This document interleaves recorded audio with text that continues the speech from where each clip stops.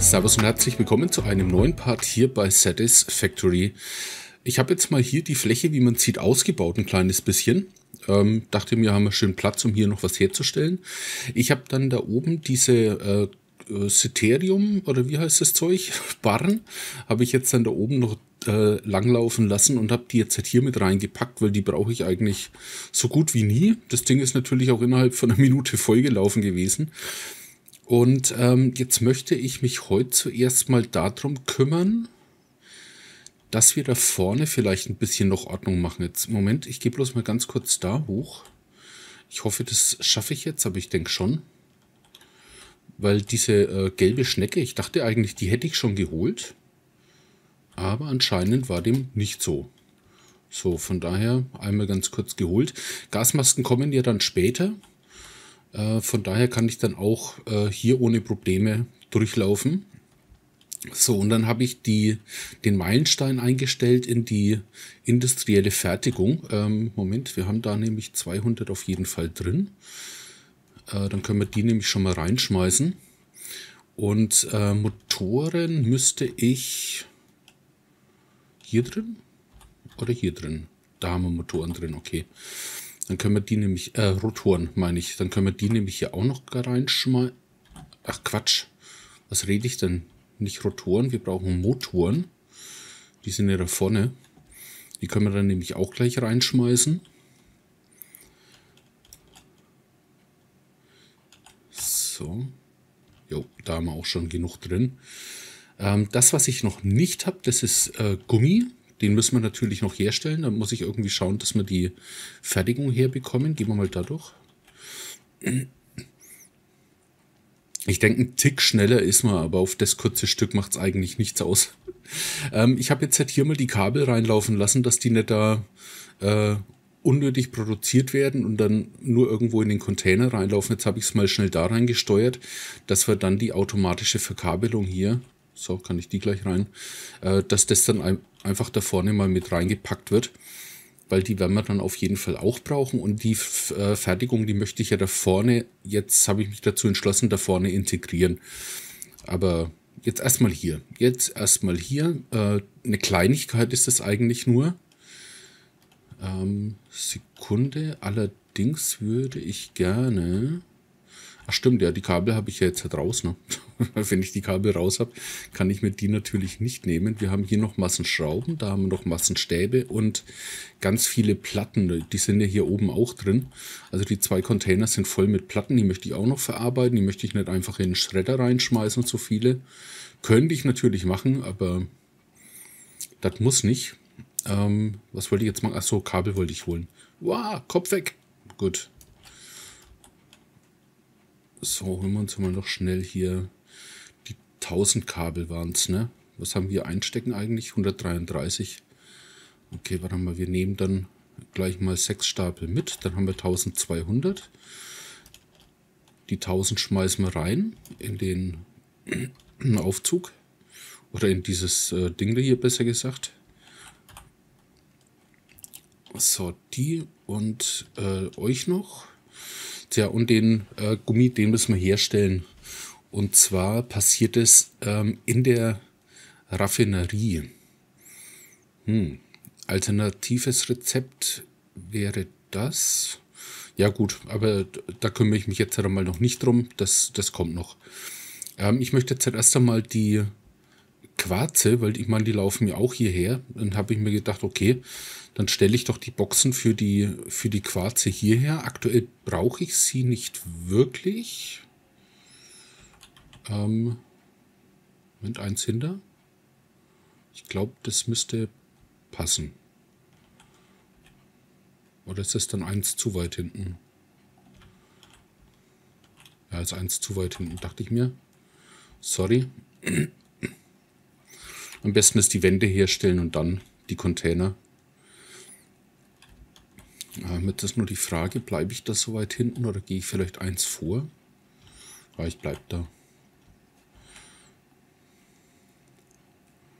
So, ähm, Organisation, das hier.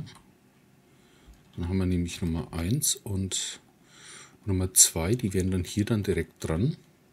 Notfalls kann ich dann da oben die auch noch öffnen. So, ähm, ich habe ja hier schon meine Quarzproduktion im Grunde laufen. Allerdings kommt das Ding jetzt weg. Äh, das da kann ich auch, auch wegtun. Dann könnte ich eigentlich mal, dass das nicht ganz unnötig ist, vielleicht erst einmal hier rüber laufen lassen. Na toll, komm, dann lass es da reinlaufen, das ist egal, wo die sind. Lass mal darüber flitzen. Das geht ja dann relativ schnell mit dem Band. Dürfte der Container recht schnell leer sein. Ja, das taucht schon. Genau, dann lassen wir nämlich hier die ähm, Quarzkristalle reinlaufen. Machen wir einfach mal das Schild hier drüber. Da mache ich auch gleich eins. Tschuk. Bild auswählen. Das wäre dann dieser Quarz hier, Quarzant.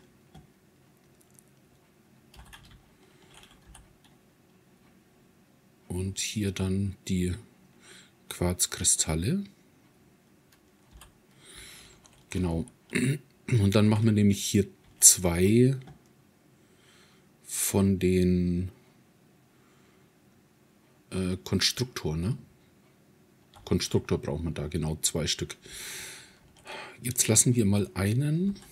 Äh, da hinten mache ich dann zu. Hallo? Achso, jetzt. Genau. Wir lassen einen hier reinlaufen. Ich weiß, ich könnte den direkt anschließen, aber ich möchte mir da ein bisschen Zwischenplatz lassen. Ich sehe jetzt keine grüne Linie. Da. Achso, die muss ich direkt aneinander stellen, das passt schon. So, dann die 5.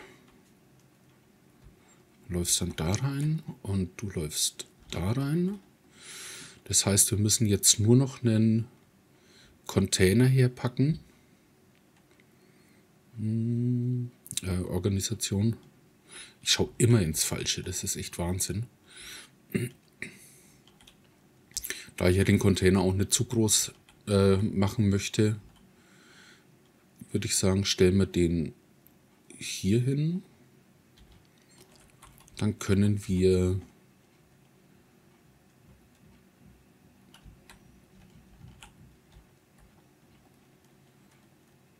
dann können wir hier eine Wand reinmachen mit Fensterchen.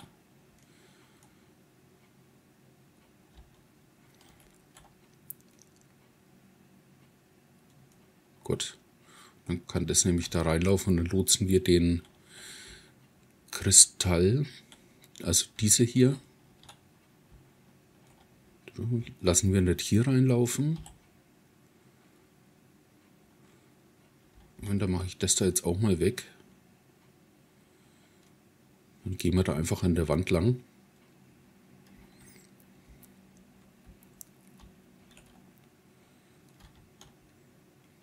mache ich hier eine Tür.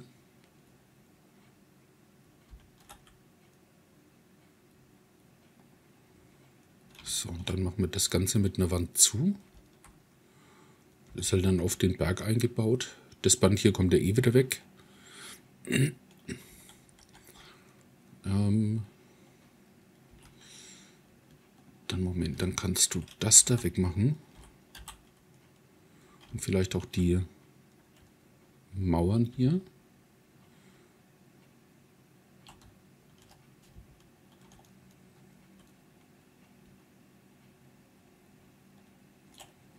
So.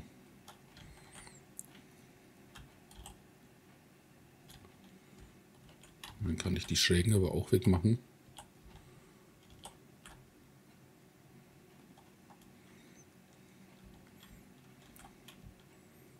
weil da schaut nämlich die Maschine dann raus. Ich meine, gut, das ist egal, ne? Im Grunde ist es Wurst, wenn da die Maschine rausschaut. Ähm, da hinten würde ich nur gerne nochmal eine Tür reinmachen. Keine Ahnung, ob ich sie brauchen werde, aber...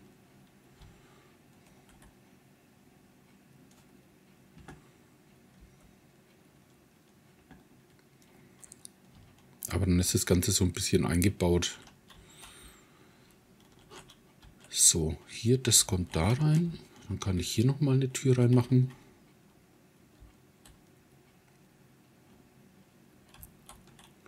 Da mache ich jetzt einfach mal zu. Notfalls kann ich da immer noch aufmachen. So, und dann wäre das Ganze nämlich einmal zugebaut.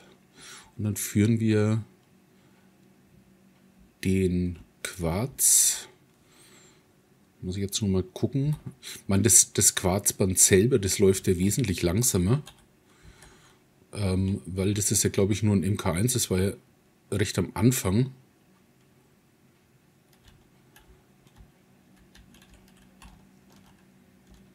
Da gehen wir einfach hier an der Wand ein bisschen lang. Warte mal. Nochmal anschließen. Bisschen drehen.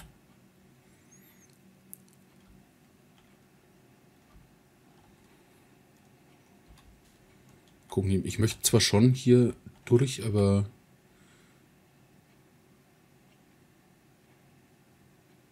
äh, ja, das ist egal. Sondern gehe ich einfach hier vorne gegen die Wand und fertig. Ich hoffe nur, dass das ja doch, das geht schon. Das geht schon. So, und hier rein. Dann kann das laufen. Und dass ich jetzt die Sachen hier nicht einfach rüber tragen muss, ähm, würde ich sagen, machen wir jetzt halt folgendes. Wir machen hier noch einen, jedes Mal, äh, Fusionator und dann lasse ich das Band einfach da leer laufen und wenn es leer ist, dann, dann montiere ich das wieder weg. So, zack, zack, dann ist das angeschlossen. Das Ding läuft leer. Das dann natürlich dann auch. Das läuft hier mit drauf.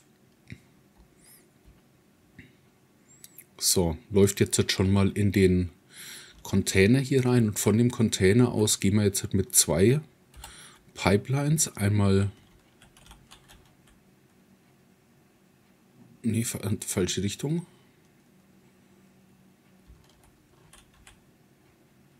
einmal hier vor.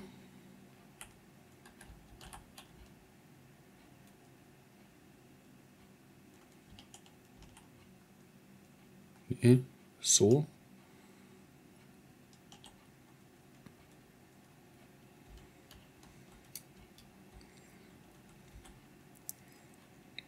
Dann machen wir mit einem,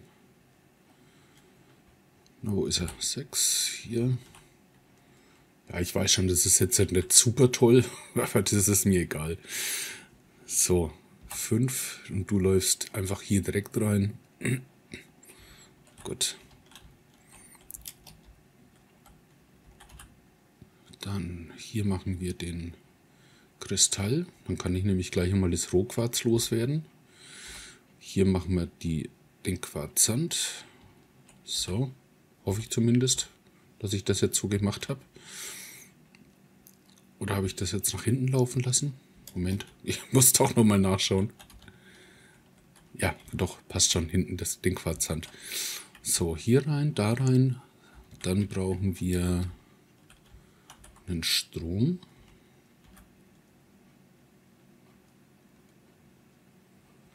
Ähm,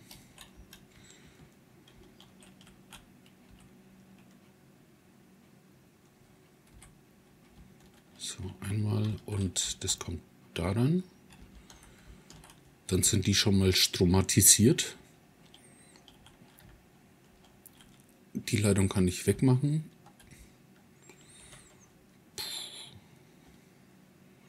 Die Leitung wegmache, dann könnte ich, ne doch, ich gehe dann einfach von hier aus da dran und gut ist. So, dich kann ich wegmachen. Zack, dann passt es. Und läuft das jetzt da rein alles? Da läuft der eh schon rein. Jawohl, passt.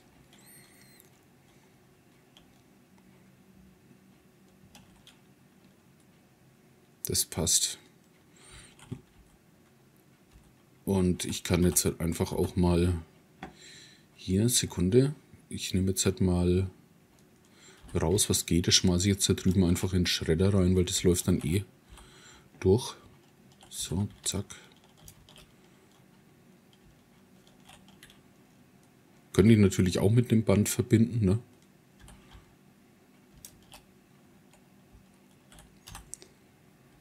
So, zack.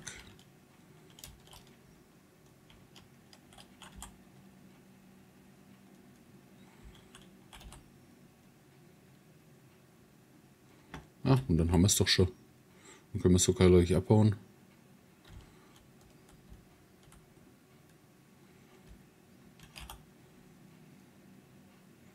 So. Okay, warte. Dann einmal äh, da oben hin, bitte. Schmeißen wir da einfach mal alles rein und ich nehme mir wieder ein bisschen was raus. Ich weiß zwar nicht, für was ich es jetzt genau brauche, außer für die Schilder, aber ist okay. So, ihr könnt geschreddert werden. Ihr lauft da rein. Und hier müsste auch alles... Ja, passt. So, wie gesagt, den lasse ich leer pumpen hier. Das wird ein bisschen dauern, aber das macht nichts. Dann haben wir jetzt halt hier nämlich die Kristallproduktion. Und dann taucht mir das an Zweien. So, ich habe hier jetzt drei Miner mit Eisen, die tot sind, gerade im Moment. Aber die werden wir auch noch nutzen. So, das, das. Jetzt wäre das Interessante zwar die Gummiproduktion, aber ich möchte da hinten erst einmal noch das Ganze machen. Ich habe nämlich deswegen jetzt nochmal hier eine Treppe mit hoch gemacht und hier eine Plattform drauf. Ich weiß, dass die Plattform, die könnte auch ein bisschen höher sein, aber ich dachte mir, das, das taucht schon. Ich muss, ich muss ja jetzt halt nicht so viel hier machen. Und zwar brauchen wir eine äh, äh, Kupferproduktion. Das heißt, wir gehen einmal hier drauf. Machen wir das direkt mit dem Schmelzer von hier. Das würde ich sagen, ne? weil die Kupferproduktion da vorne, die wird weggenommen dann können wir hier eigentlich direkt mit einer Kupferproduktion starten. Ja. Machen wir am besten mit einem... Machen wir das... Aber ich könnte eigentlich erst eine Wand hinmachen.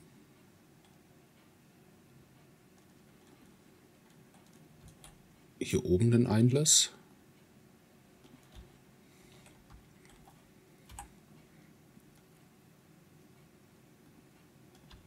So, dann schmelzen wir hier Kupferbarren.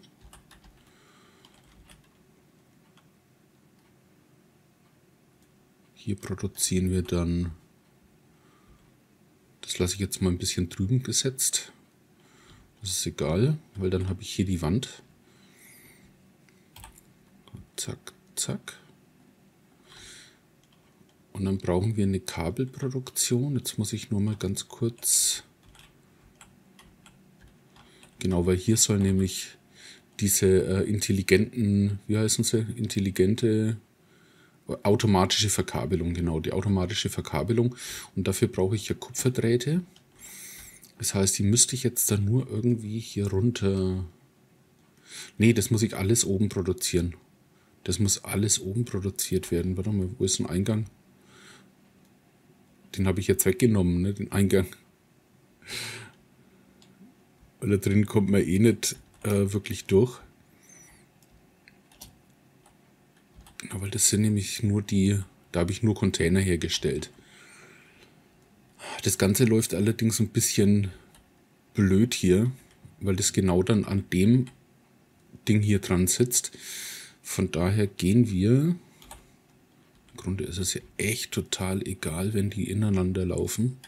Wir machen jetzt mal hier ein Band her.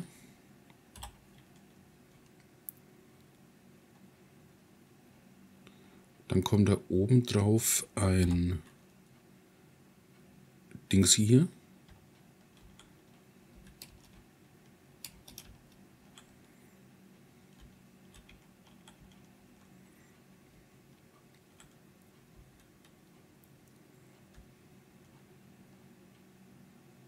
Ah ja, da sind wir, okay. Ähm und dann lassen wir hier einfach das Band reinlaufen, wo dann die fertigen äh, Teile reinlaufen. So, dann brauchen wir nochmal den Konstruktor. Wir lassen das Ganze einfach wieder zurücklaufen.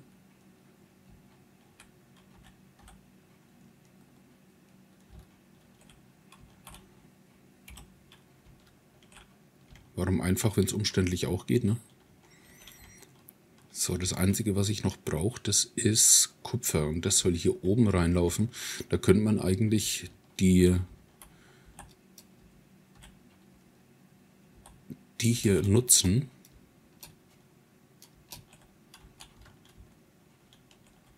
Ach so, da habe ich gar keine Gestelle. Da habe ich eins, ne? Okay, nehmen wir die 7. Wir machen hier einfach noch mit 2 drauf. Da habe ich auch keine genutzt, okay. Die habe ich auch noch so hingestellt. Wäre natürlich geschickt gewesen, ne?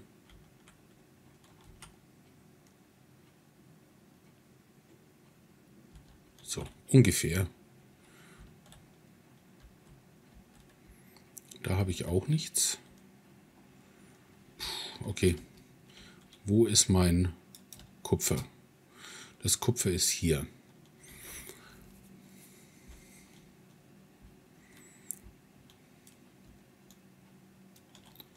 So, den werde ich drehen. Und dann gehen wir da einfach da hinten rum. Das außer ich nehme ein anderes Kupfer, das wäre natürlich auch möglich.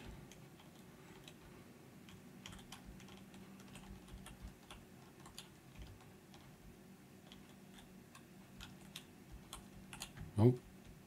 Wo ist meine Linie? Da.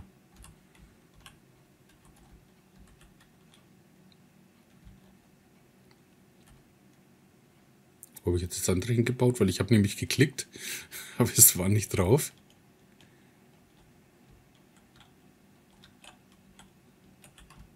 Okay, hier.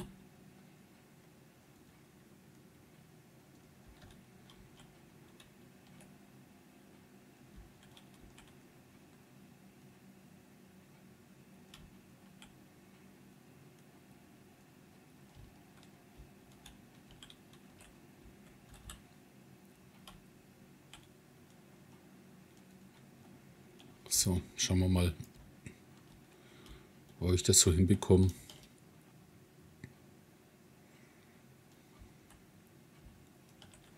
Ich würde sagen, ich fange erst mal mit den Bändern an.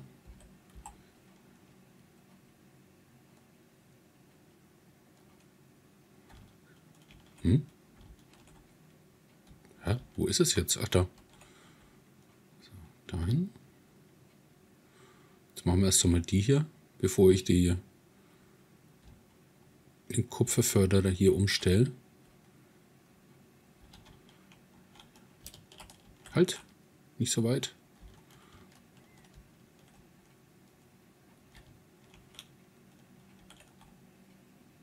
Ah, okay. Ich weiß nicht, warum mein Licht immer ausgeht. Ich, ich drücke eigentlich nie auf B, aber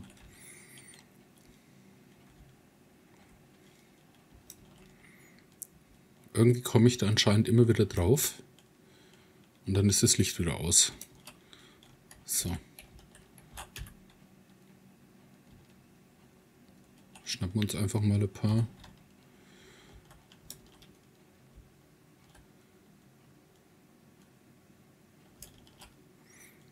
Und hier drinnen die Anschlüsse, da habe ich auch schon einen Kommentar bekommen. Ja, da habe ich ein bisschen doof gedacht, weil ich lasse da Stangen eigentlich äh, produzieren, was total unsinnig ist. Also so wie ich es angeschlossen habe.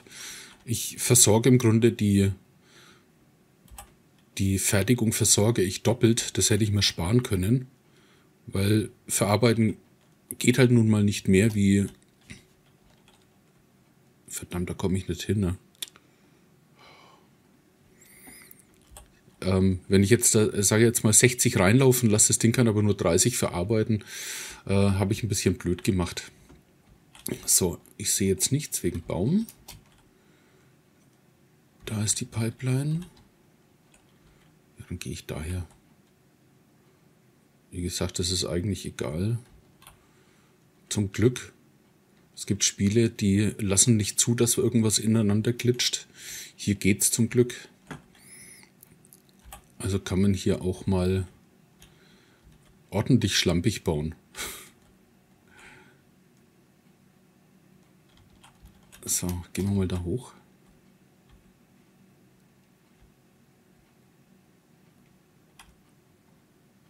Ah, warum fällst du jetzt runter? Ich wollte eigentlich nicht runterfallen. So, gehen wir wieder hoch. Ach. Dann eben anders, dann eben so.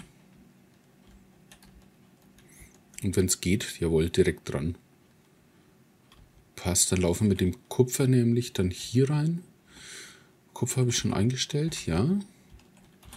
Hier werden dann Kabel gefertigt. Hier werden Kabel gefertigt. Da können wir schon mal irgendwas reinhauen.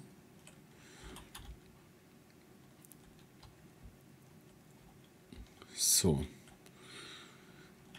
Dann brauchen wir den Fabrikator. Ich hoffe, das reicht jetzt wirklich vom Platz her. So, in dem Fabrikator werden dann die automatischen Verkabelungen gefertigt. So, dann müssen ja die Statoren rein und die Kabel. Also gehen wir mit den Kabeln einfach direkt hier rein. Zack. Und die Statoren, die fertige ich ja da vorne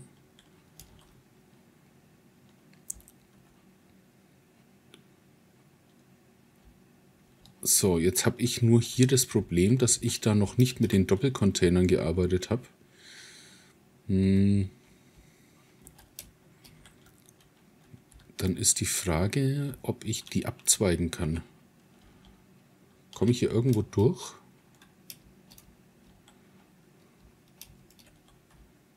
Warst du das? Ja, du warst es. Okay, wir haben hier einen Sp Splitter, der leitet es einmal hier rüber und irgendwie nach oben oder so. Und der eine Splitter, der füllt hier das Ganze. Und ich glaube aber nicht, dass ich hier noch einen Splitter ansetzen kann.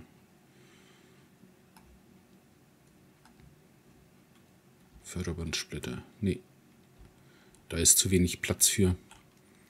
Dann wäre jetzt nur die Frage, Moment, wo führst du hin? Du führst hier hin dahin, runter und hier rein für die Motoren. Ah, okay, für die Motoren. Dann machen wir das, wir bauen das um. Wir bauen das Ganze um, dass ich da mit einem, es wird zwar ein bisschen unübersichtlich das Ganze, aber dann gehe ich hier nämlich mit einem Abzweig nach oben.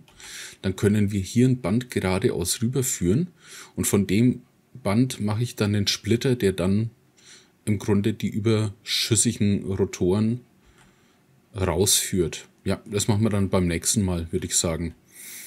Supidupi. Ähm, Leute, mir hat es gefallen, ich hoffe euch auch.